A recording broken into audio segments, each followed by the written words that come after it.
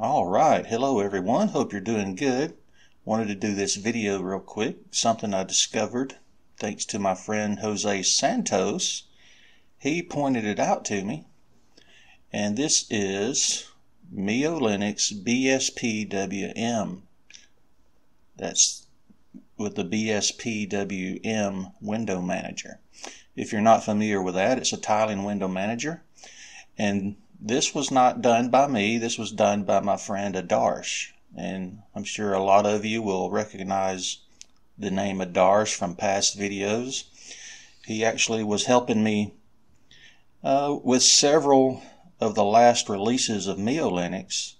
And this is his version that he did on his own.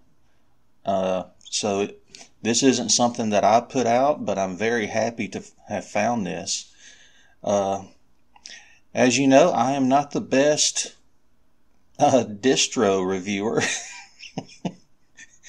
so, I will do what I can, and hopefully I won't embarrass Adarsh. Now, Adarsh, if you're watching this, I did send you an email, and I also tried to contact you on Telegram after you asked for a way to contact me. I sent you an email and sent you a message on Telegram. So hopefully, if you see this, it'll give you a heads up that I did try to get back with you. So what we have here, now Adarsh is using, I'm going to assume a wallpaper changer script. The wallpaper changes every few minutes. He has some beautiful wallpapers on here. The uh, the display manager is LightDM and he did a beautiful job with it too.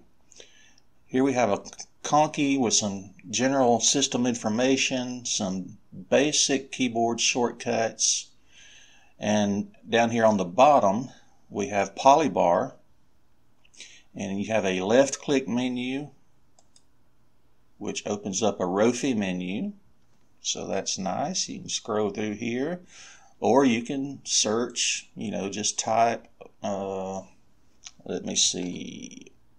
LX uh, there's LXAppearance. Customize look and feel. I'll go ahead and open that up.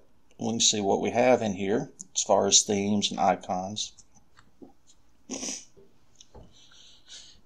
And you can see he has several several nice uh, widget themes icon themes. We have paper. I like paper, that's a nice theme. And the Papirus icons. Mouse cursor, you get Adwaita, DMZ, black and white, and paper. All right. So let's continue on here. Over here we have an exit menu. Now if you click on that, I would advise not logging out in the live session because I couldn't find uh, the uh, username and password anywhere. I'm pretty sure the username is Adarsh, but I can't say that for sure.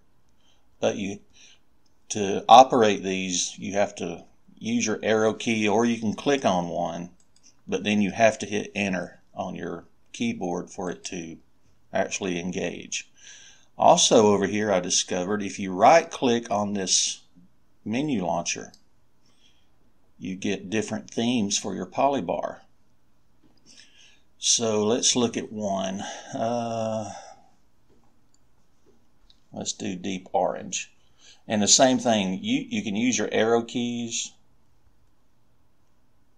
Oh, there's even more than I thought. Oh, good grief, man. He's got tons. I thought all there were were these ones there. Let's see. Let's do uh, deep orange dark. And there it is. All right. Wow, I just discovered something. he has a whole lot of polybar themes in there, so that's excellent. Now, one thing let's see let's look at some of these Super key plus shift D is your main menu. Super shift D and that is dmenu.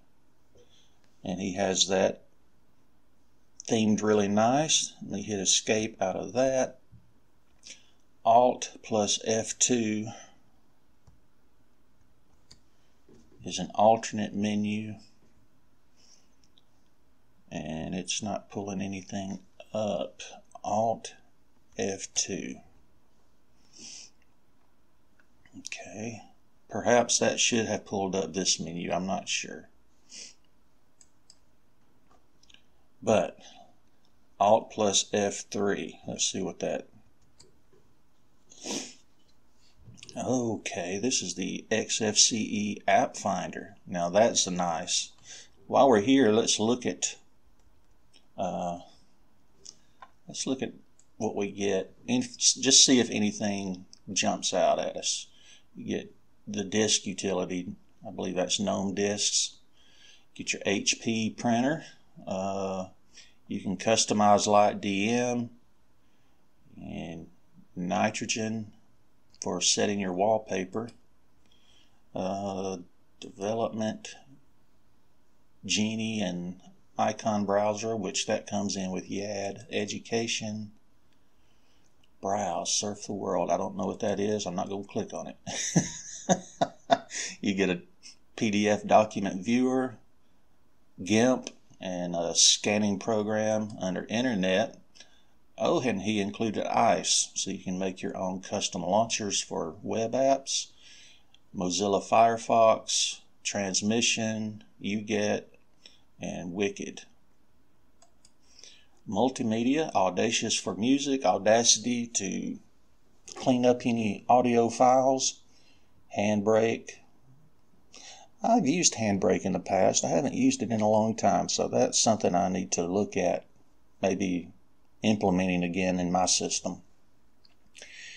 Uh, Parole Media Player, Pulse Audio, and Simple Screen Recorder under Office, Office, Office, you get Calc and Writer from LibreOffice, so that's nice. Other HP UI scan under Settings, uh, Grub Customizer. I guess that's GUFW right there. Yeah, GUFW. Synaptic and Tint 2 settings. I guess if you want to use Tint 2 you can instead of Polybar. And under System, BleachBit, GDebi, File Manager is PCManFM. Get the Refracta installer and snapshot. Sakura is the terminal. All right. So that was basically everything you get on the system. He does have a few launchers down here on the polybar. Now I think these, I'm not really sure what all these are. I think, oops. Oh, I think I just discovered what all these are. these are your different desktops. Okay. Because I know I was doing uh, a simple screen recorder on desktop number two. So I go here to number one, that's where I was, and that was highlighted. Okay, I just discovered something else. that's pretty neat, Adarsh. Instead of just using numbers, he gives all these little neat characters to represent the different desktops. Um, let's see, he has a quick launch to the terminal. I think that's PCManFM. Yep, PCManFM. I don't know how to close a window. I didn't see it on the, well, I can close it up here. I didn't see close a window on the keyboard shortcuts. Oh, stop application. Super Shift Q. All right, let's try that again. Super Shift Q. There we go. All right. Firefox. I'm not sure what this is. So let's click on it and find out. I don't know. I'm not sure what that does. And here we have, let's see. Oh, that's PCManFM as root. Okay. Excellent. Super Shift Q. All right. Now let's open up. Uh, let's open up PC Man. Let's open up again. If you want to set your own keyboard shortcuts, I know enough about BSPM, BSPWM to be dangerous with it. so let's look and see what all he has. Let's see. I know for BSPWM you have to use a, a separate program. Yeah, this is it right here. You have to use a separate program to set your uh, keyboard shortcuts. And I think this is probably the most common. I don't even know if there is another one. But we can look in here, and here will be all of your keyboard shortcuts. And you can either change them around or just come in here and take the time to learn what you you know what you need to do. And there's quite a few. All right. I'm going to go ahead and close that. Let's go back. Um, here's his auto start. Let's see what he has auto starting. Just out of curiosity. Tint Two. He's got tint two commented out. C bat C battery icon. That's this right down here on the polybar. He's using LXPolkit for authentication, keyboard shortcuts, Compton, Dunst. He's using Dunst for notifications. Okay. Yeah, there's the wallpaper changer.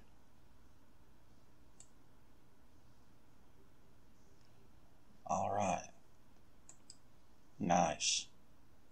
Sorry, I'm I'm not using the keyboard shortcut to close things. I'll do it this time though. Let's go back. Uh, Polybar. Here's all of his scripts. Very nice. Okay. Super Shift Q. But anyway, this uses the Refracta installer. Now he has a page on SourceForge for it, but he hasn't uploaded a file there. I actually found this on OSDN. And I will put the uh, link where you can download it and try it out yourself. Adarsh, it's beautiful. You did a fantastic job. I wish I knew more about BSPWM to give it a, a really good review and make it look like I know what I'm doing, but hey, I'm being I'm honest. I don't know a lot about BSPWM. I do know that Adarsh, uh, he was always adding BSPWM on any of the MiyoLinux uh, ISOs that he would download. So he's probably a lot more knowledgeable and he's probably rolling his eyes at a lot of the stuff I'm doing, but that's okay. So this is, according to Adarsh MiyoLinux BSPWM. It's a 64-bit system. Well, and I, I think right now it's just a, let's do a uname A. Yeah, 64. Of course it's 64.